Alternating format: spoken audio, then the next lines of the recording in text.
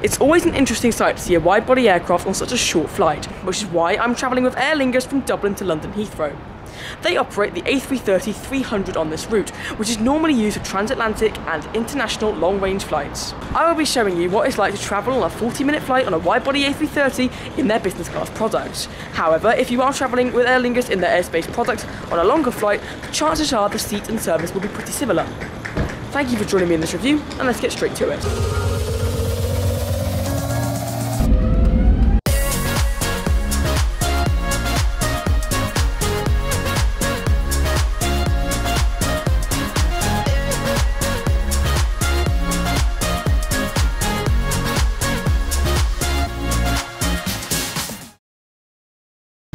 Welcome to Dublin Airport Terminal 2, one of two terminals here at Dublin.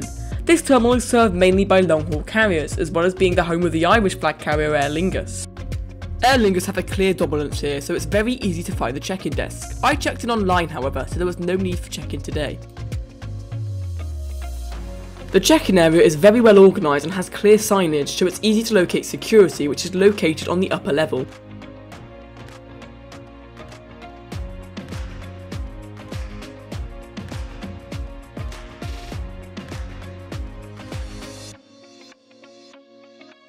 Security took about 5 minutes and once you're through it, it's straight through to the duty free area. Terminal 2 lacks in eateries but has a great selection of shops of all different kinds. There was just a few cafes however and sadly the main cafe, Cafe Bar, was very busy and I couldn't find a place to sit, so I settled with a small snack from WH Smith and sat down to wait for my flight. However, I didn't have to wait long. The gate was announced for my flight, so I made my way to gate 418 to get ready to board the Airbus A330. I have to say, the main shopping area of the terminal is quite nice, but when you go down the escalator and through the gate area, it's like stepping into a different airport. It is very vast with very high ceilings and the air conditioning is great. It's a huge area with lots of seating and would definitely recommend staying here if you have a longer layover than I did.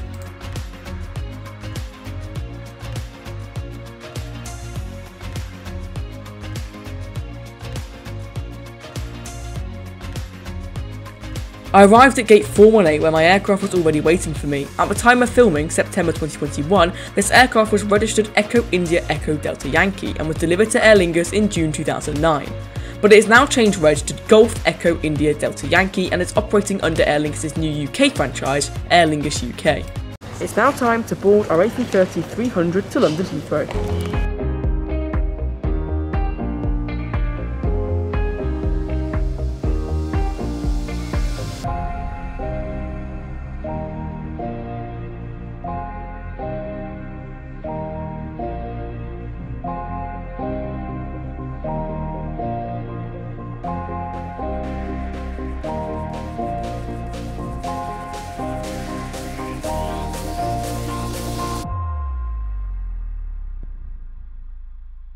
Welcome on board the Aer Lingus A330-300. My seat for today is seat 6K, a standard AerSpace seat. So then, welcome on board the Aer Lingus Airbus A330 in the AerSpace cabin. I have to say, I am massively impressed. I just love the AerSpace cabin, especially considering we operate on such short flights like this. This massive A330 is an absolutely incredible plane, and I am beyond excited to be flying on this on such a short 40 minute flight from Dublin to Heathrow. I will get into the seat area in more details once we get into the air, but my first impressions are very good. There is plenty legroom and the seat is really comfortable. There is also lots of great storage, but for now let's push back from our gate and start our taxi to runway 28 left.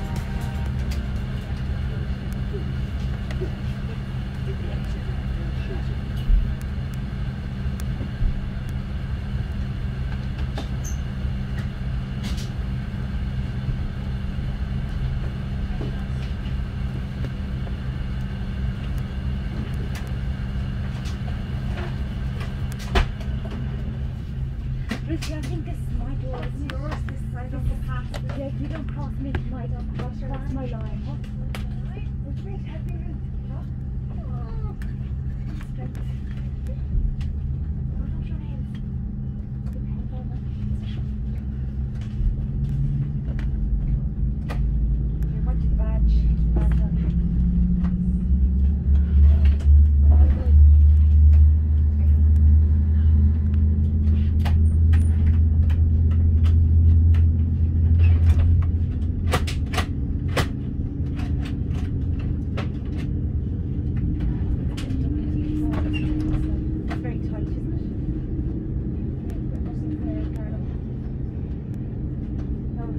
badges on. Just say, yeah. So that's lab 34 grand. Thanks.